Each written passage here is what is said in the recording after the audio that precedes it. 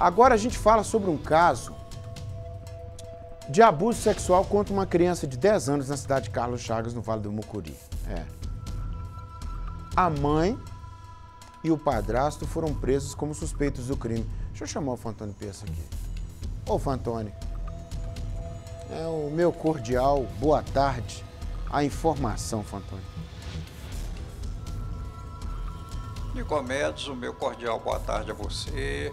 Respire fundo. Você também de casa que nos assiste, aquela relaxada para encarar a realidade dessa ocorrência. Uma ação conjunta da Polícia Civil de Jabuticatubas, na região metropolitana de Belo Horizonte, com a Polícia Civil de Carlos Chagas, prendeu um casal. O homem tem 29 anos, a mulher e mãe da vítima tem 34 anos. Então preste bem atenção. O homem foi preso porque ele é suspeito de abusar sexualmente da criança que hoje está com 10 anos, desde os 8. Eu não estou falando de 18, não, estou falando de 8, 08. Hoje a criança está com 10 anos. E a mãe também foi presa por quê? Porque ela sabia do comportamento do amásio dela, do companheiro dela, e não fez nada para cumprir o dever legal dela de mãe e protetora, uma vez que o padrasto violou o direito e a responsabilidade dele, embora não seja parente direto, ele violou esse direito, não protegeu, muito pelo contrário, praticou o, o, a infração penal e a mãe foi conivente.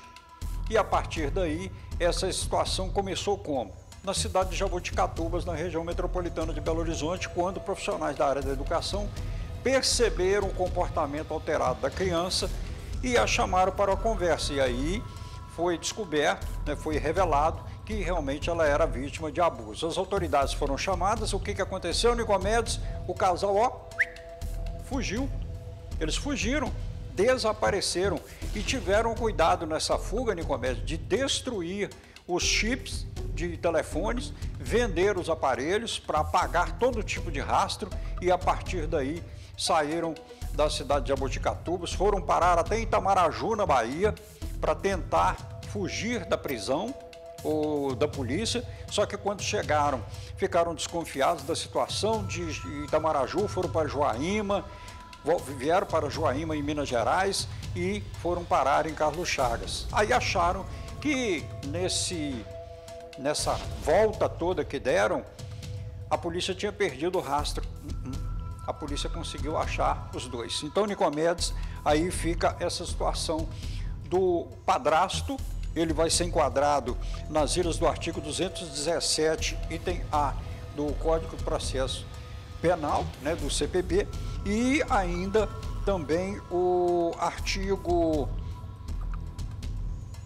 um outro artigo que diz que ele deveria, junto com a mãe, zelar pela guarda da criança e não fez. Então, por tudo isso, eles foram recolhidos. Ah, a criança. A criança foi retirada dos dois, que são os tutores, e ficou a cargo do Conselho Tutelar até que seja decidido o que vai acontecer e o amparo para essa situação. Então, Nicomedes, veja aí o que acontece. A polícia agiu durante muito tempo, vinha procurando, achou lá em Carlos Chagas e agora os dois vão responder por esse crime.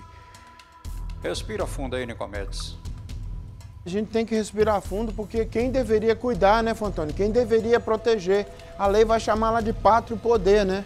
É aquele poder, é o primeiro que, de, que nos protege, que é o, a proteção paterna e materna, né?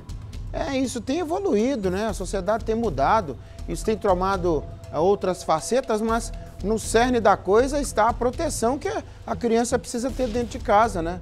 É, depois a outro local da proteção vai ser na família, no ambiente maior, avós, tios, primos, parentes diversos. Depois uma outra gama de proteção vai ser na escola, na igreja, é, onde quer que seja, e por aí vai, né?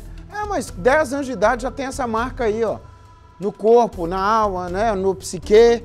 Aí, abusado sexualmente. Né? Por quem?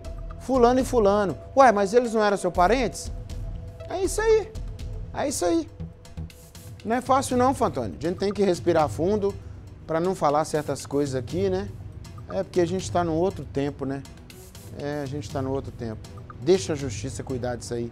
Obrigado, viu, Fantônio? Que notícia aborrecida que você trouxe aqui.